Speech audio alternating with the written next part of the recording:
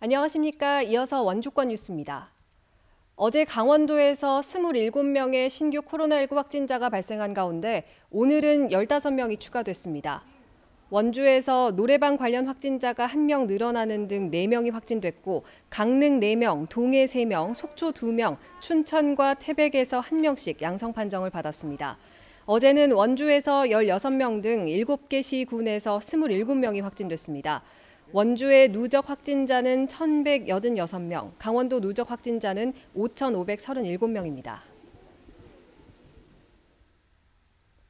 강원도의 주간 일평균 확진자 수가 한 달 만에 감소했습니다. 지난달 29일부터 어제까지 이번 주 들어 강원도의 확진자는 121명으로 하루 평균 30.2명이 발생했습니다. 이는 지난주 248명이 확진돼 하루 평균 35.4명이 늘어난 것과 비교해 줄어든 수치입니다. 강원도 주간 일평균 확진자는 8월 첫째 주 26.7명을 시작으로 4주 연속 증가세를 보였습니다. 코로나19 사태가 시작된 이후 주간 일평균 확진자가 가장 높았던 것은 지난 7월 마지막 주에 44.9명입니다. 오는 6일 온라인 접수가 시작되는 코로나 상생 국민 지원금은 각 시군 상품권 가맹점에서만 사용이 가능합니다.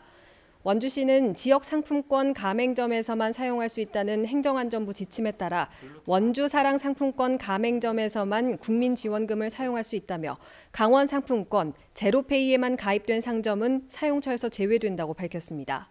현재 원주사랑 상품권 가맹점은 6,900곳으로 국민 지원금을 쓸 수 있는 대상 업체 14,000곳의 49%에 불과해 지원금 사용에 불편이 예상됩니다.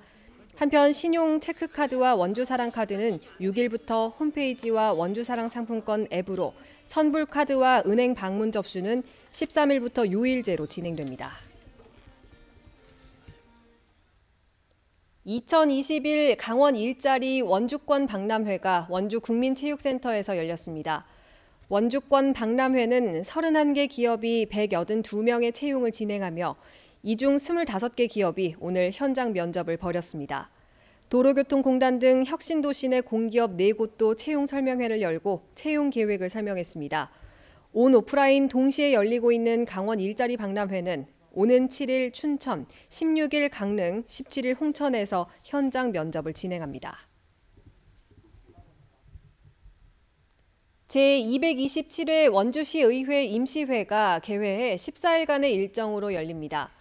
원주시 의회는 코로나 상생 국민지원금 지원 예산이 반영된 1조 9,089억 원 규모의 제2차 추가 경정 예산안과 원주 시립미술관 건립 등이 포함된 5차 수시분 공유재산 관리 계획안 등 37개 안건을 처리할 예정입니다. 본 회의 5분 자유발언에서는 문막교 재가설의 4차선 확장 필요성과 아이스팩 재사용 사업, 지학순주교 재조명 사업 추진 등이 제안됐습니다.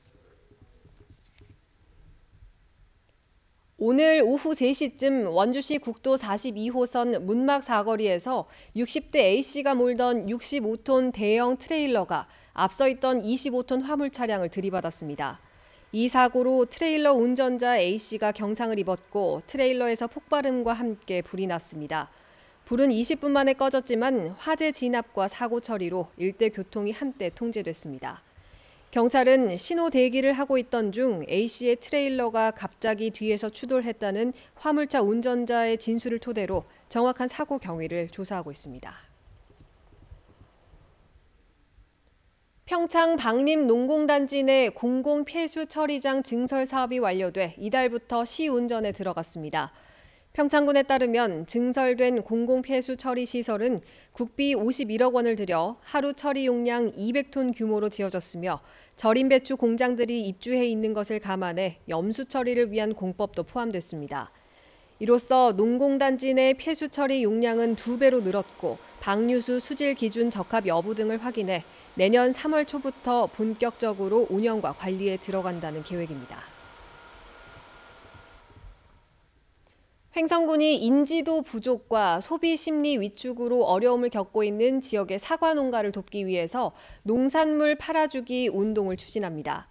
횡성군은 관내 기업들을 대상으로 횡성 사과를 추석 선물로 활용할 수 있도록 안내하는 공문을 발송하고 사과 장목반을 통해 오는 13일까지 신청을 받는다고 밝혔습니다.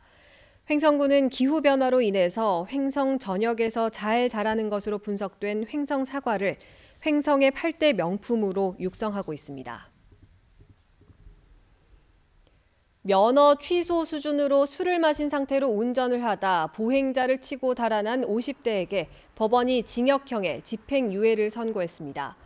춘천지법 원주지원은 올해 초 원주에서 면허 취소 수준의 혈중 알코올 농도 0.084% 만취 상태로 승용차를 몰다 횡단보도를 건너던 10대를 들이받고 달아난 54살 김모 씨에게 징역 1년에 집행유예 2년을 선고했습니다. 재판부는 피해자가 뇌진탕 치료를 받게 하는 등 죄질이 나쁘지만 김 씨가 경찰에 자수하고 피해 보상을 한 점을 들어 형 집행을 유예했습니다. 뉴스를 마칩니다. 고맙습니다.